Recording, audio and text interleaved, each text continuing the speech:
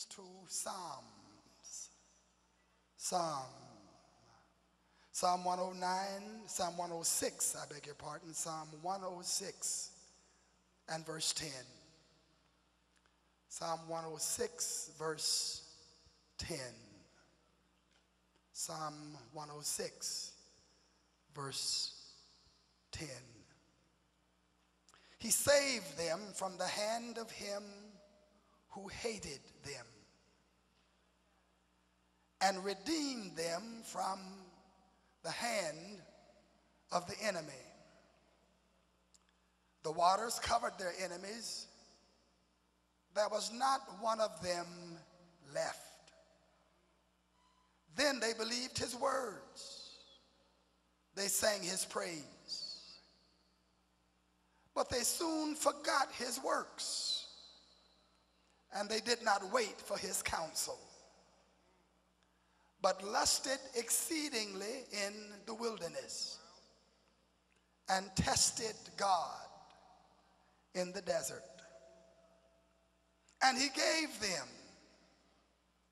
their request. And he gave them their request.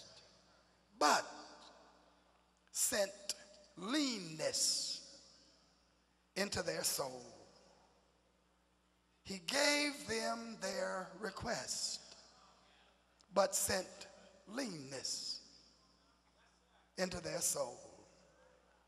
Would you help your neighbor to understand what the Bible says? Just look at your neighbor and says he gave them their request, but sent leanness into their soul. Want to talk about leanness of the soul tonight. Would you say those words after me, please? Leanness of the soul.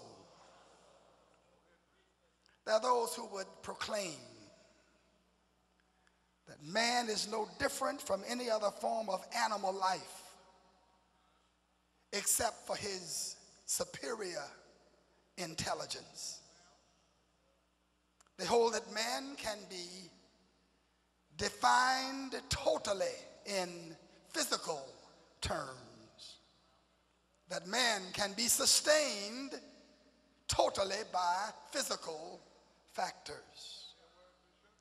And this is the practical or philosophic view of many people who live on the earth today. They've made abundant provisions for the physical, material aspect of their existence. They're focused on the things of the earth and making sure that they have as much of the earth's wealth available to them as is possible. And there's nothing inherently wrong with having the things of the earth. But the Bible says that man shall not live by bread alone, but by every word that proceedeth out of the mouth of God. Other earthly occupants, other lower forms of animal life can be sustained by physical provisions. But man be sustained by physical provisions alone. Man needs more than bread, more than water, more than shelter, more than comfort, more than luxury. And it is only as we understand this fact that we are ready to experience life to the fullest. Man is both physical and spiritual. And there is that within man which corresponds to and images and responds to God. There is that within man which feels responsible to God and reflects the moral nature of God by thinking in terms of good and bad, right and wrong. There is that in man which hungers for and reaches out for fellowship with God.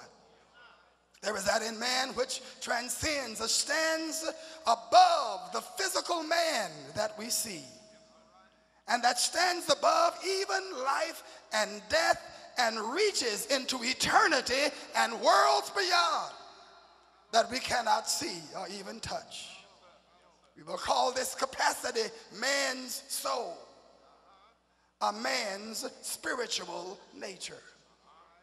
And though the human inclination is in the very opposite direction, I would assert, and the Bible asserts, that priority, a first preference, ought always be given to the spiritual above the physical. Somebody ought to help me preach tonight. The spiritual is more important than the physical. This is the case because, number one, there is a God who relates to us by means of the spiritual. The physical man, the natural man, cannot understand the things of God because they are spiritually. If you praise him, he'll bring you out. If you praise him, he'll take you higher. God will bless you. If you praise him, if you glorify him, don't stand around begging. Don't stand around singing the blues. Tell the Lord, anyway you bless me, it's all right with me. You remember that Shunammite woman whose son had sickened and her son had died. And the prophet sent the messenger. And the messenger said, Woman, is everything all right? The woman said, It is. Well, well, you look at your neighbor and say, It is well. Trouble may be at home, but it is well. You may have a foreclosure notice waiting on you when you get home, but it is well. You might have a pink slip and get fired from your job, but it is well because the Lord is working it out for you. All things are working together for your good. And so the songwriter said, When peace like a river attendeth my way, when sorrows like sea billows roll, whatever my lot, thou hast taught me to say, It is well, oh, it is well, it is well with my soul. Tell somebody, it's well, it's all right. I wish I had some hallelujah. Anyhow, folk in the house, are there any hallelujah? Anyhow, people in the room, hallelujah.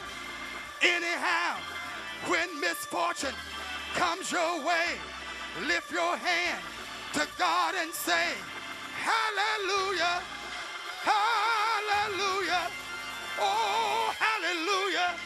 Anyhow, Hallelujah, God is good. Hallelujah, He's going to bring me through.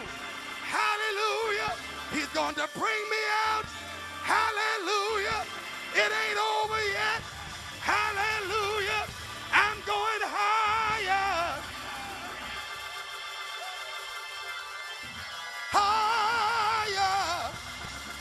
your neighbor, neighbor, when you look for me again, you'd better look up because I'm going higher. Higher.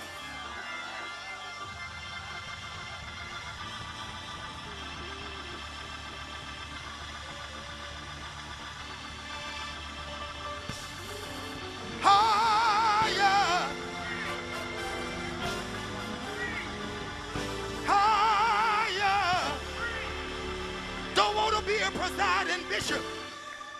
Don't want to pastor a big church. Don't want to have a big jurisdiction and have a lean soul. Don't want to be Vogue and Esquire and alligator shoes and have a lean soul. Don't want to have a pocket full of money and a soul empty of God.